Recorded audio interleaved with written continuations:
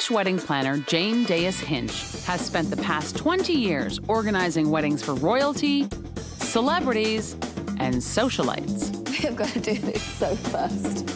But will cyclists Erin and Craig have Jane spinning her wheels? Erin, stop crying. Will Jane be able to save Erin and Craig's wedding? If we don't get help from Jane, it, the wedding could just be a total disaster.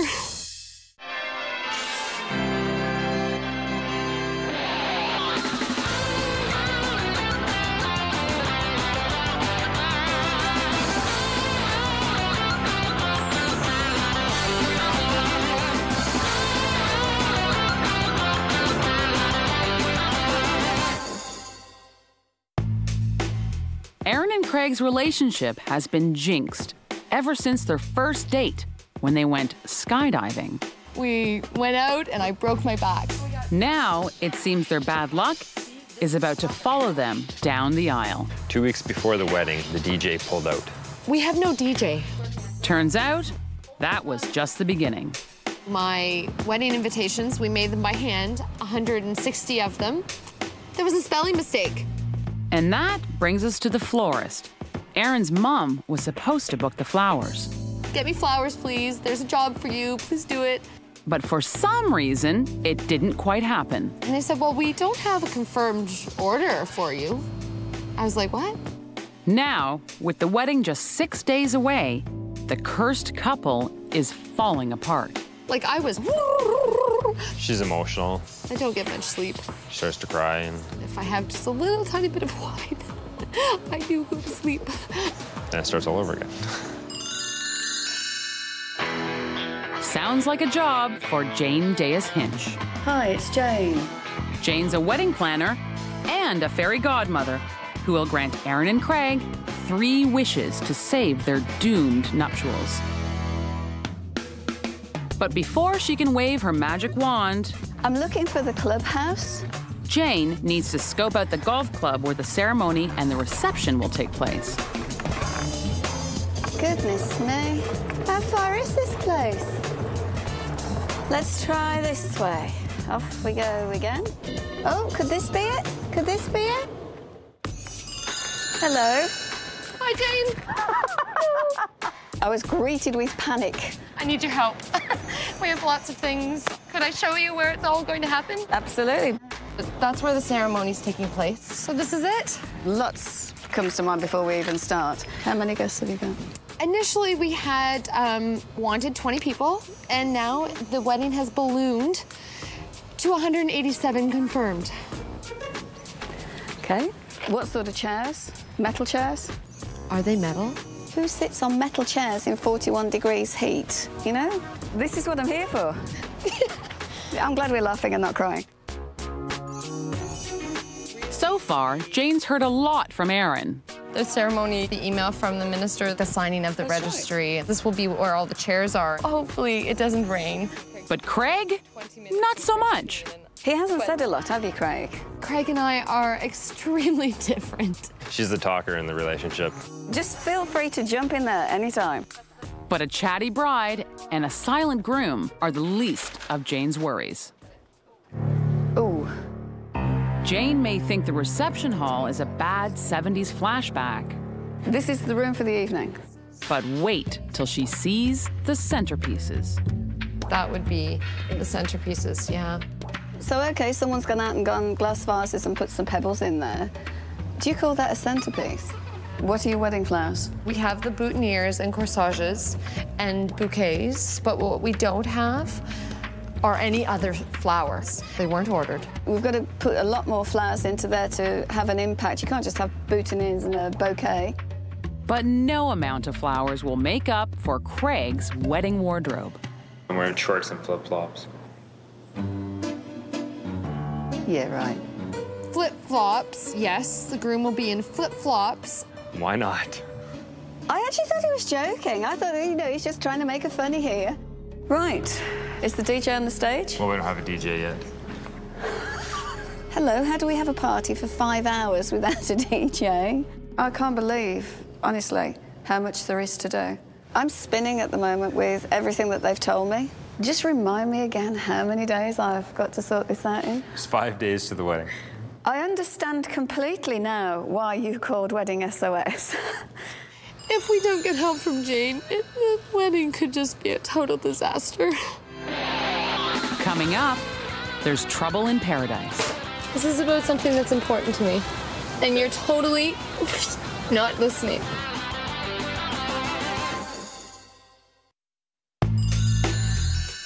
British wedding planner Jane Deas Hinch has worked with over a thousand couples, but she has never met the likes of Erin and Craig. I'm like, tears, poof, my face explodes. No, I can be upset too. Opposites may attract, but not when you're planning a wedding. I am in charge and have put myself in charge of everything. So, knock yourself out. Somehow, Jane's going to have to find a way to bring these two together I've got the plan. before their differences tear this wedding apart. I don't want to say grace at my wedding, like we're part of a cult or something. My entire family would appreciate grace. This is about something that's important to me. And you're totally not listening. It's something you really want, isn't it? Yeah, it is. And it's something you're dead against. I could feel that this was a very sensitive issue. but not nearly as sensitive as the question who will be giving Erin away? Walking me down the aisle. We discussed, and it would be her father, her, her biological father. This is totally stressing me out. Her mother wants to also be walking her down the aisle, or her stepfather, because he played a big part in her life. Who do you want to walk you down the aisle? Decisions have to be made. Erin and Craig are going to have to get it together because Jane is only able to grant them three wishes. They need 30 wishes to make this come true. Is there anything else that is sort of burning urgency? We want. We want our first wish to be the DJ. Yes. Finally, Erin and Craig agree on something. With four days to go, go find a DJ. It could be worse. Hey, Mom, how's it going? Jane could have to deal with Erin's family about walking her down the aisle.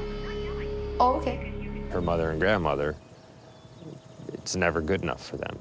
No, no, and I told Nanny that already. It's like Chinese torture. They're constantly at her, We hadn't discussed anything about that. constantly at her, phoning her and Okay, just you don't be angry with me. You don't need to be angry with me. crying. Okay, you don't need to be yelling at me. They, they put her on a guilt trip all the time. Ugh, that's stressing me out. Huge.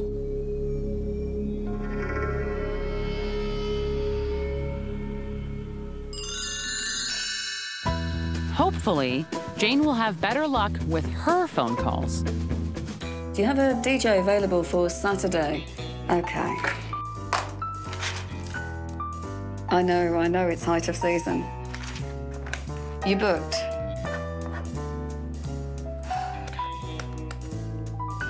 You use an MP3 player? An MP3 player hooked up is just won't cut it. I just don't want that. No, that's not what I'm looking for. Erin and Jane may be getting nowhere. But Craig's a different story. All right. Card box is done. But a card box is only one thing on Jane's massive to do list for Erin and Craig. There is still such a lot to do. That means Erin and Craig have to get cracking. They still need to meet the photographers, We have some specialty photos with mountain bikes. That's okay, right? It's an extra charge. Oh God, I'm so stressed. Craig needs to confirm the minister. There was no answer on his phone. They also have to plan the ceremony, You have a sound system, right? Um, I don't think so. and there's still the dreaded seating plan. But there's some good news. Hello! Come on in. Looks like Jane has found a DJ. Nice to meet you. But is he the right DJ for this wacky couple? One of the things we have that's a lot of fun is our kissing dice. The kissing dice is perfect. Do you have ideas for consequences if they take their glass? How about The hula hoop! I loved everything. He's gonna make this a great party. Have I granted you your first wish? Yay! Thank you so much. But the celebration might be a tad premature. That's awesome. There's still so much to do and not enough time to get it done.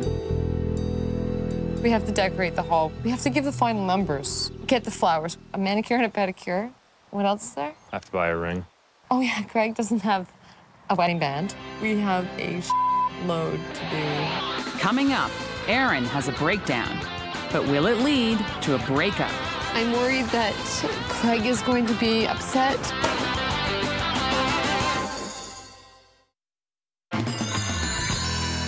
Craig's wedding is a disaster in the making. That's where it's headed, and I just don't want that. In order to save their big day, wedding planner Jane Deas Hinch has agreed to grant Erin and Craig three wedding wishes. She's already found them the DJ of their dreams, He's gonna make this a great party.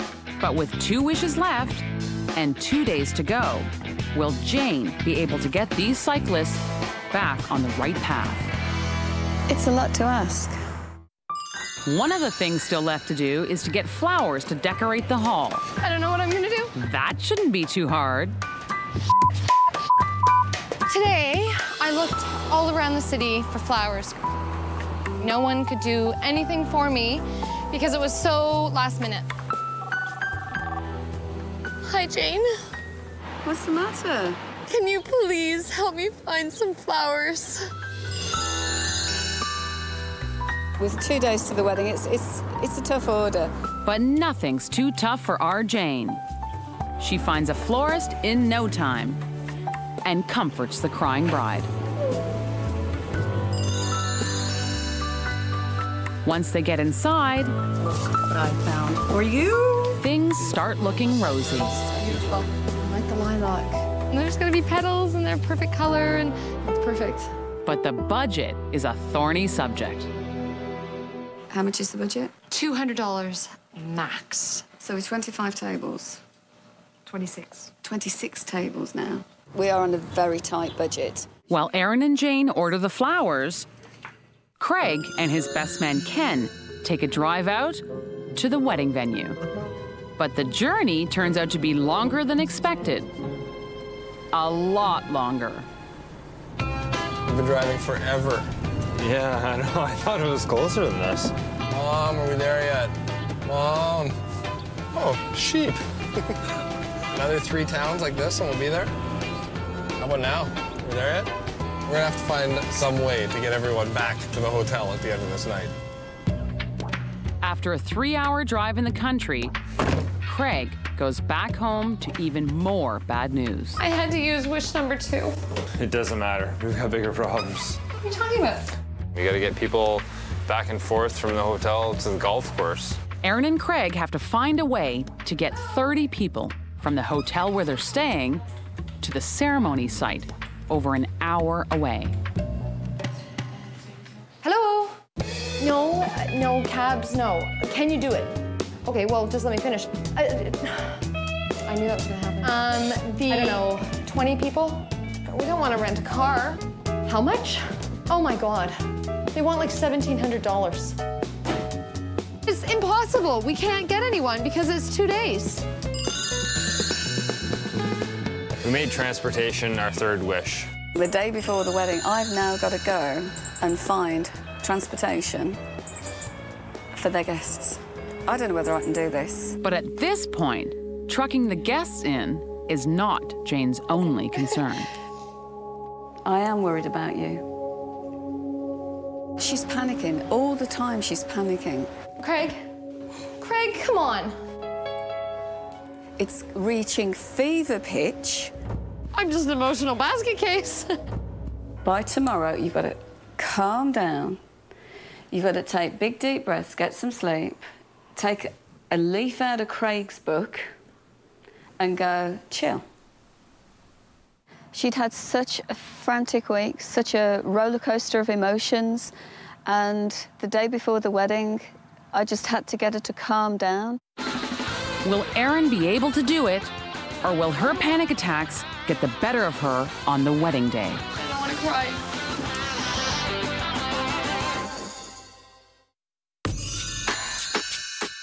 Five days ago, Erin and Craig's wedding reached catastrophic proportions. The wedding could just be a total disaster. Then, British wedding planner slash fairy godmother Jane Deas Hinch answered their wedding SOS. She came to my rescue. She found them a DJ with three days to go. She found them a florist with two days to go. But now that the wedding day has arrived, will Jane be able to grant Erin and Craig's third wish and get their guests to the wedding on time? There was no transport, no taxis come out this far. And of course, they didn't want people to drink and drive. So I got them a bus. A school bus. We got a big yellow school bus because I've always wanted to drive a big yellow school bus. Okay, everybody, we're here. Now that the third wish has been granted and the wedding's about to start, Erin's panic should be a thing of the past. To put Erin's mind at rest, I thought I'll just give her a call, and she's on the champagne and has been all morning.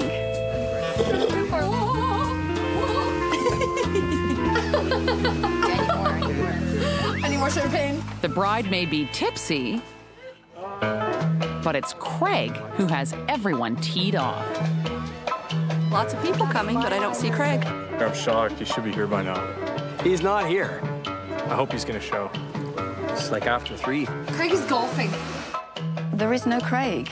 He's out on the golf course. So I'm going to go and get him. It's all par for the course for Jane as she gets Craig ready in the nick of time. Don't you dare scream. But getting Erin's mom ready proves to be more difficult. We are one corsage short. Which one were they short? Mother of the bride. You can't let Mother of the bride not have a corsage, so I gave her mine. Have a lovely day. Thank you. Now, the only thing left for Jane to do is usher in the last minute stragglers. Erin and Craig? Yeah. Yes, oh. thank you. Now that everyone's seated, Jane gives the cue. It's time for Erin to walk down the aisle. But who will walk with her?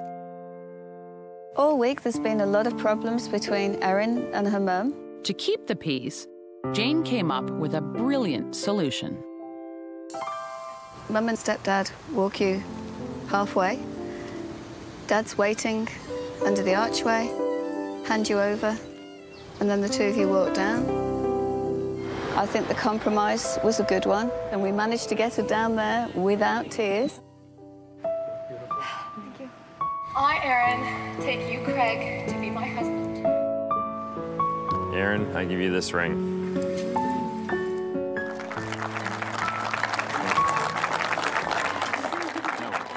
The ceremony may be over, but that means the problems have just begun.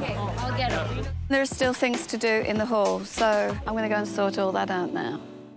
While the bride and groom get their wedding photos taken, it's up to Jane to single handedly put the flower arrangements out, decorate all 26 tables with rose petals, We have got to do this so fast. put out the table plan, fix the chair bows, check on the DJ, What are you going to be playing during dinner? It's a good question. and get the guests into the hall. Do you know which table you're at? Somehow, Jane manages to get it all done. Now, the only thing left to do is to see who won the Battle of the Grace. Erin got her way. I wasn't too crazy about it, but she's gonna do it. I get to sing Grace.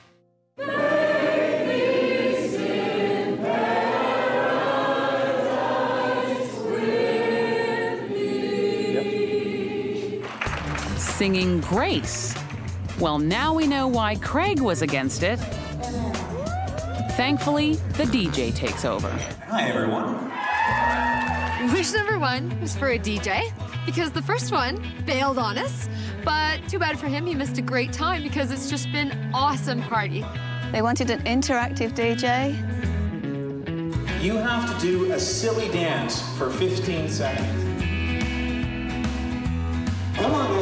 Guys, put your They got the most hyperactive, interactive DJ you could ever wish to book. Wish number two was more flowers.